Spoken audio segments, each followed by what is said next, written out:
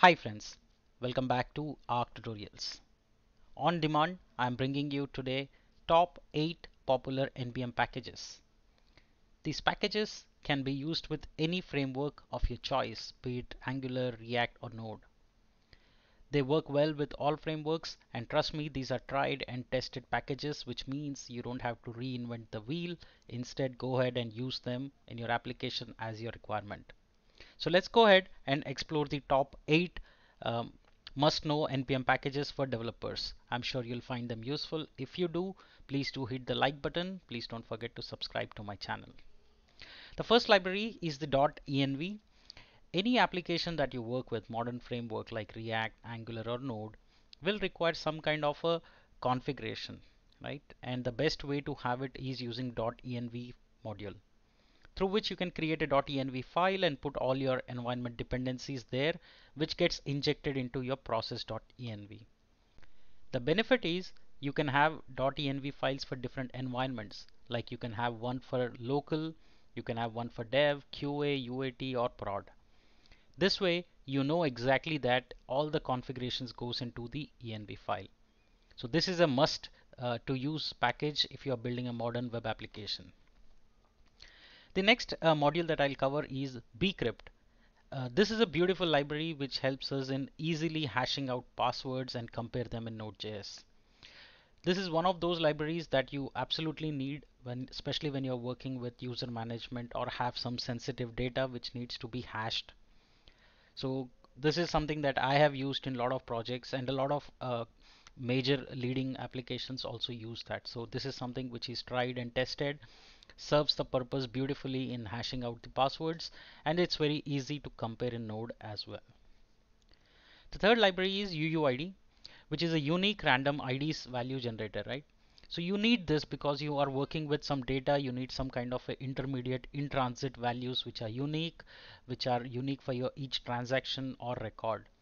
So UUID instead of generating your own random number or values, always prefer to using a stable library like UUID.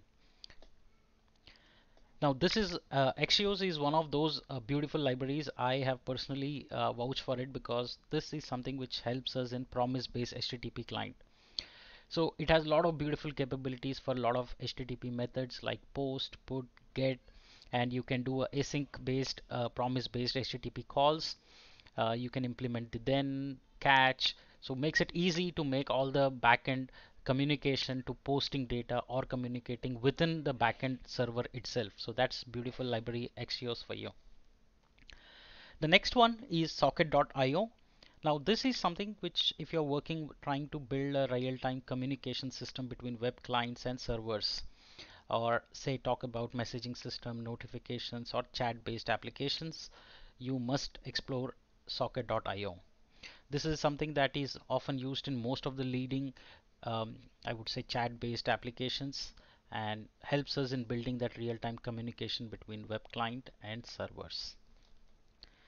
The next one is very very uh, important especially when you're working with date um, fields mostly like if you're building a calendar scheduler or somewhere where you are putting timeline dates and processing of those dates deadlines etc.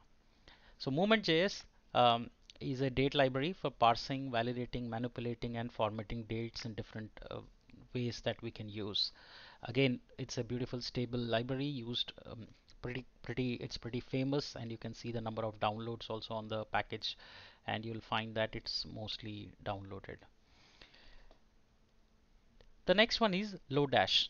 So Lodash is a very useful when you're working especially with numbers, arrays, objects, strings, literals, so those are the things that uh, Lodash is very very helpful and useful.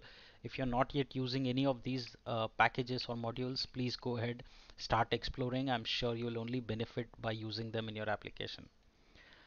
The last one is the nodemon which is uh, automatically restart the node applications when changes in the directory are detected so usually node applications you need to npm run start or you have to kill it and then again start it uh, after few changes. Instead of that, what you can do is install this package nodemon.